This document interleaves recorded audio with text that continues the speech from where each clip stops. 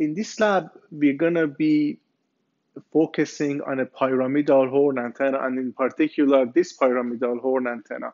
In fact, we have two identical pyramidal horn antenna in this lab and uh, one for one of them is going to be used as the transmitter the other one that's identical to the transmit one would be used as the antenna under test or uh, receiving antenna in this exercise of antenna training and measuring system by lab volt we're going to be focusing on a couple of parameters associated with pyramidal horn antenna for example front to back ratio gain and half power beam widths but before getting to that, we want to first check the propagation loss equation.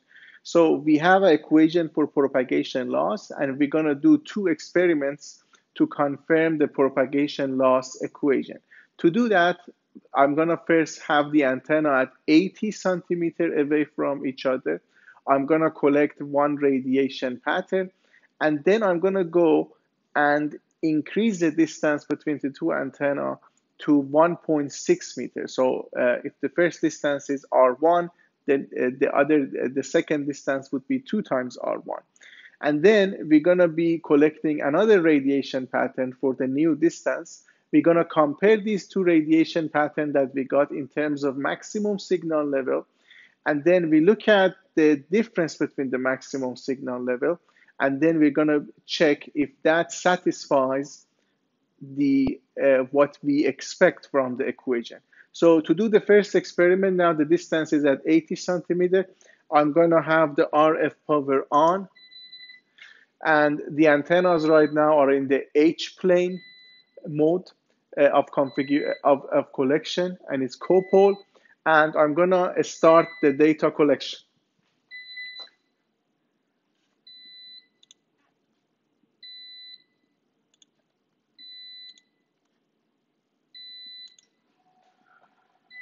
So again, as you expect, the antenna under test is moving.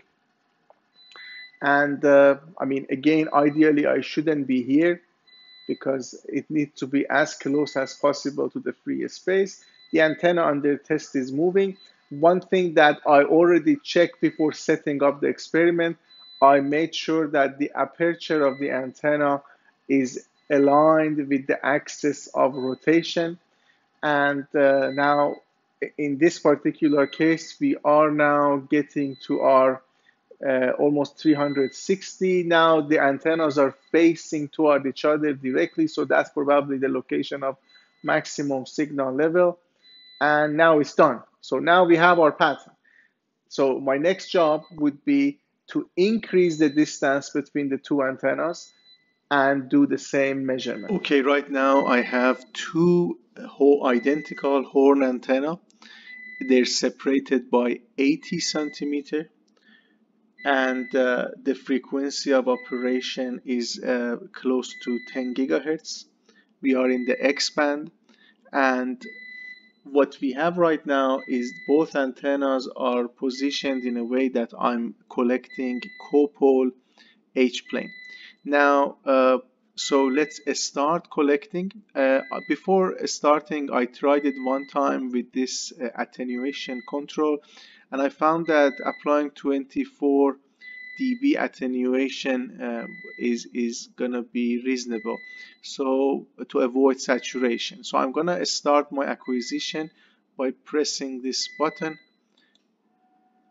So now I'm collecting so right now I'm approaching the back lobe of this horn antenna.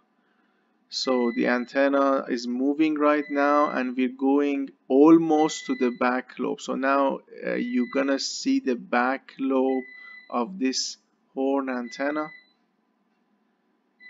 And now we again moving uh, toward the main lobe when the antennas are facing directly each other. So yes now the main lobe is appearing.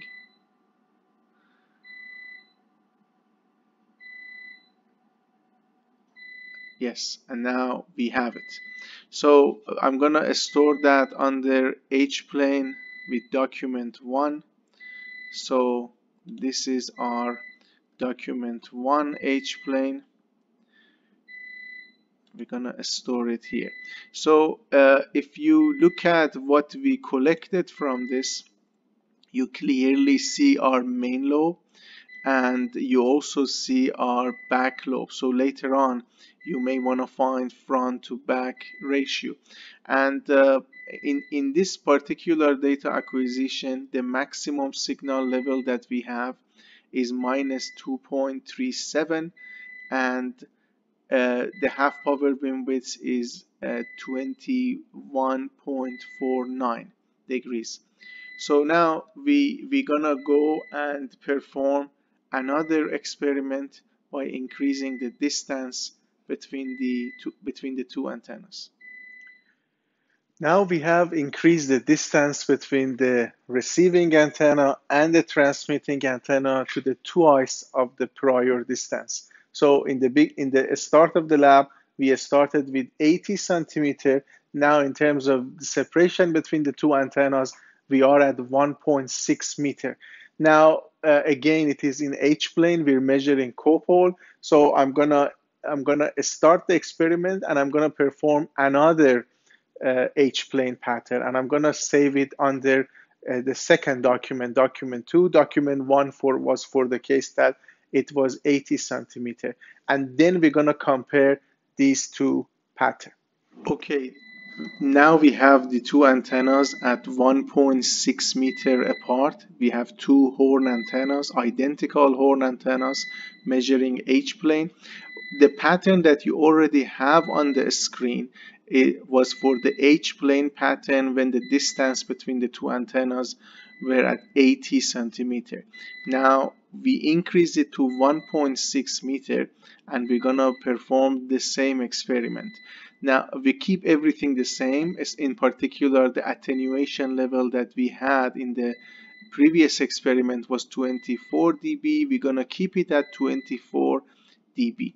So let's start the experiment and as it goes you can compare it with the previous measurement so what you expect according to Friis equation is that when the distance between the two antennas increases, the received power should decrease.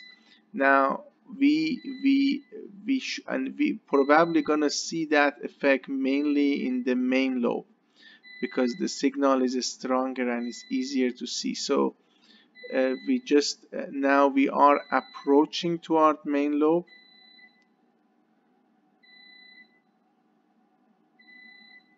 and we're gonna see what kind of difference we have between the two main lobes. So now okay so I'm gonna store that under document 2 and H plane.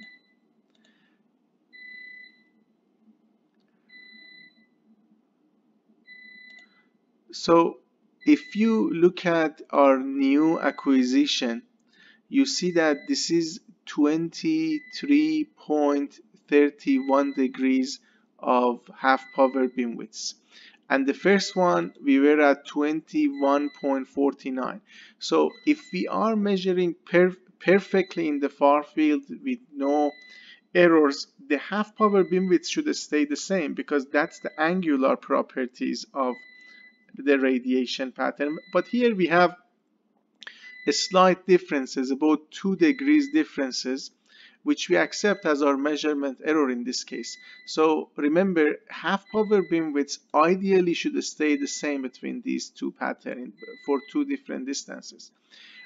Then what, what's, but what's very important for us uh, in this case is to check the maximum signal level. Now to, to, to better see that I'm gonna rotate all these pattern so that the maximum signal level is at zero degrees.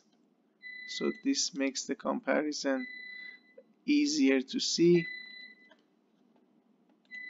So yeah, these are the two patterns that I have.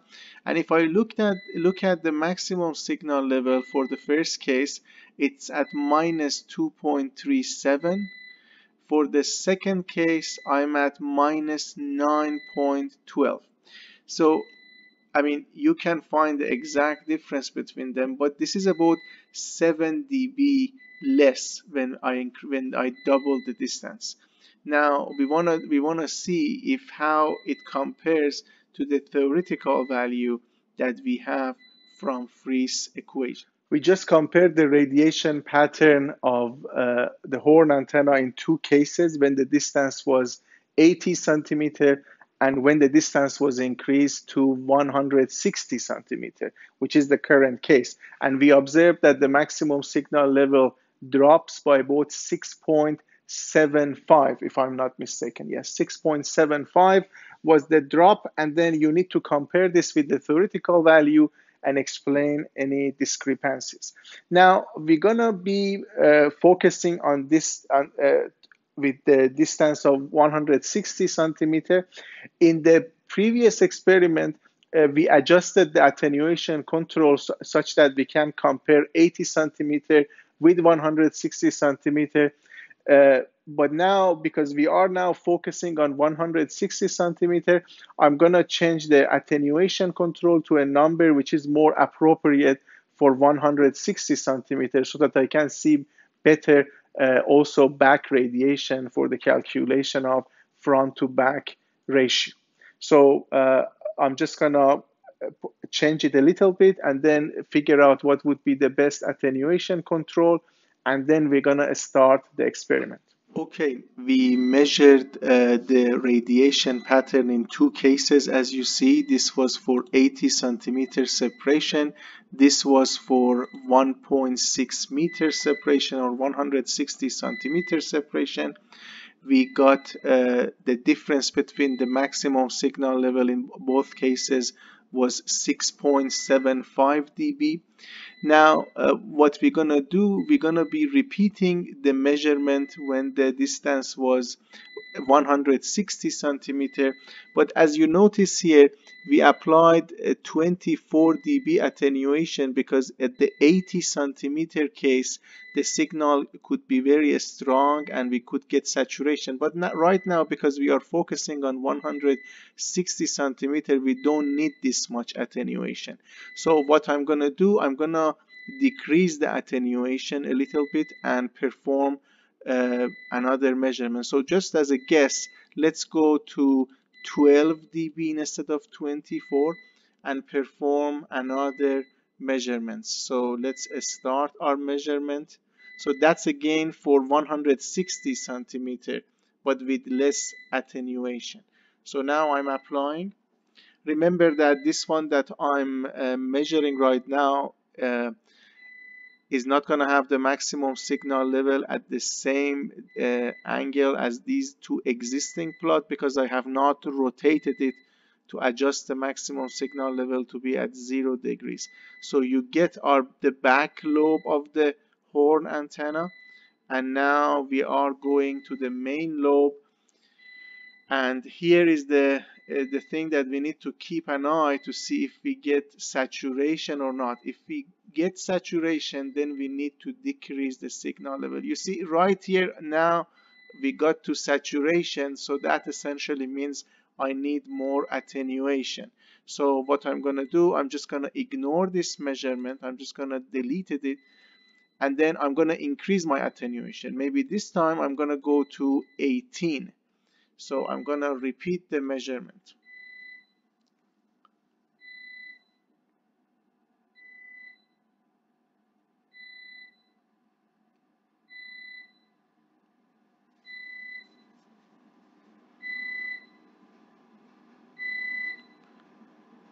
So we get to the back lobe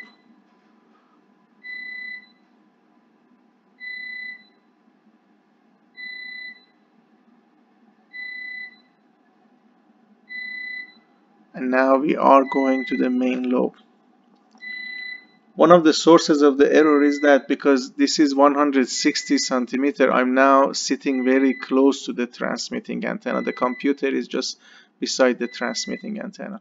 And now, as you see, it's now very reasonable in terms of the maximum signal level. So I'm just going to accept this as a good attenuation and I'm just going to store it under H plane and I'm going to make a new document. I'm going to go to document number three and I'm going to store that under document 3 as my H plane. So so now what what I want you to pay attention here is that we measured uh, we measured this horn antenna under three situation right now. Document one was for the small separation. Document two was for the larger separation and document 3 is for the larger separation but with a different attenuation. Ideally you need to get the same half power beamwidths for all of them and they're very much similar. For the first case we have 21.49, for the second case we had 23.31 and now we have 23.02 degrees of half power beamwidths. Of course, because we are changing attenuation and also distance, the maximum signal level is different. So to be consistent with previous measurements that we have, I could rotate this one so that the maximum signal level is located at zero degrees. Now this becomes my new measurements. Now I'm going to do another measurement and I'm going to perform uh, H plane of the same for the same distance and for the same attenuation. Okay, we just finished performing H-plane cut measurement in the copole for the horn antenna. Now I'm going to go to the E-plane pattern measurement. To do E-plane pattern measurement, as you know, I need to rotate the antenna under test by 90 degree. So to do that, I'm just to loosen this a little bit and I'm just gonna rotate it and use the other pin for the connection and I'm just gonna tighten the connection that's my E-plane now I have rotated my antenna under test 90 degree to go to E-plane but if I measure like that it's not going to be copole E-plane because now the, the receiving antenna expect horizontal polarization, but this antenna is set up to be vertically polarized for the previous measurement. Since in the previous measurement, the antenna was expecting vertical polarization, so this was set originally for the vertical polarization.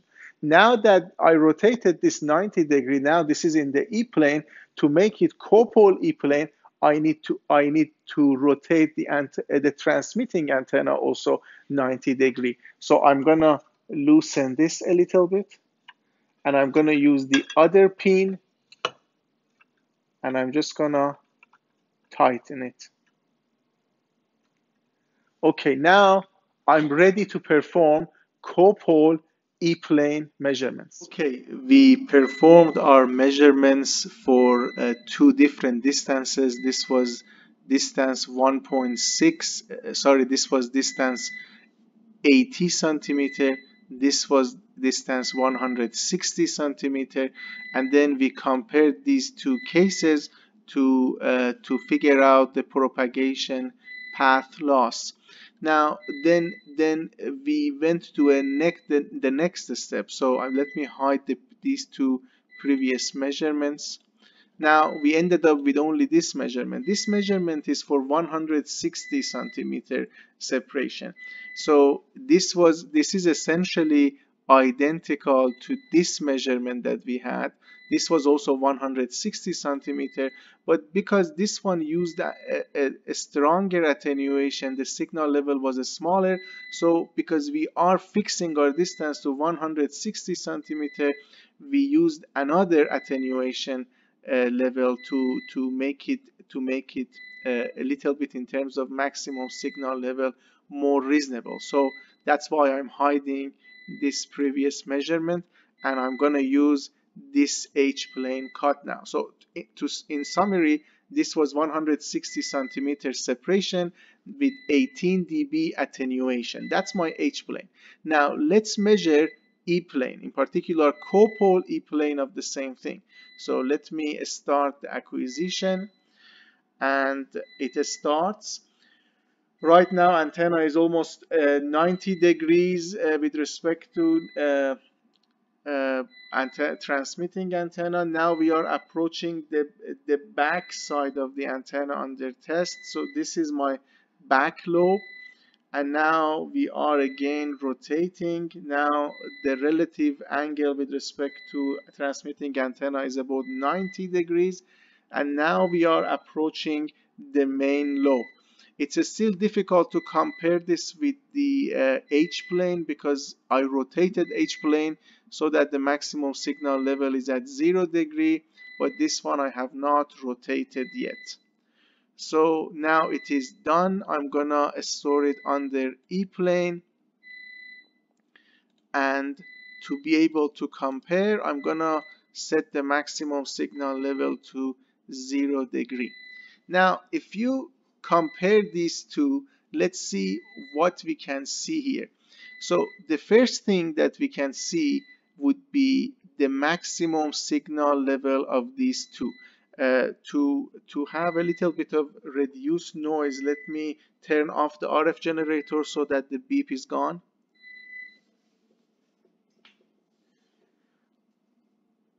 Okay now the RF generator is off.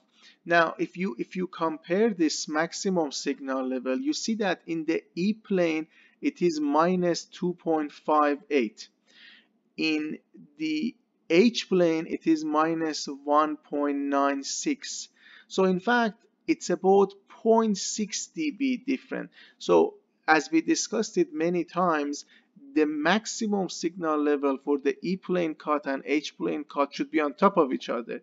But of course we have some uh, measurement errors due to many factors. And the 0.6 dB uh, given that we are not in anechoic chamber it's acceptable for us so this is the first thing that you should check to see if your if your measurement is makes sense or should be improved. The other thing that you can notice here is the half power beam widths. For H plane we have about 23.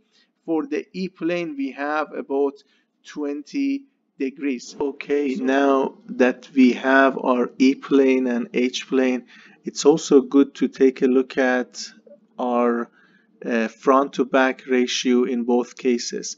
To do that, I'm gonna have two cursors here and I'm just gonna move the cursor in a way that I can uh, measure my uh, front to back ratio. So for E plane and H plane, I'm just gonna set one of them at zero degrees that I have my maximum signal level and one of them in the back. So and if you look at now the the relative measurement the cursor 1 has been set to 0 dB and cursor 2 has been uh, accordingly adjusted. Now you see that with for the E plane the difference between cursor 1 and cursor 2 which are opposite to each other 180 degrees difference is about minus 16.74 for E plane and minus 20 dB for H plane. That's our front to back ratio. Now to see that better, maybe I can just remove the cursor and also remove the H plane. So now you see this is the E plane maximum uh, and then this is my front, uh, uh this is my back lobe and this is my front lobe. Now the difference between these two would be front to back lobe ratio. Now I could bring H plane and I can hide E plane.